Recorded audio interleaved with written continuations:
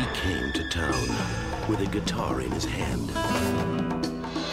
and romance in his heart. He wasn't looking for trouble, but trouble came looking for him. Critics are calling El Mariachi one of the most astonishing directing debuts in a decade. An amazing film, a movie miracle. El Mariachi, rated R.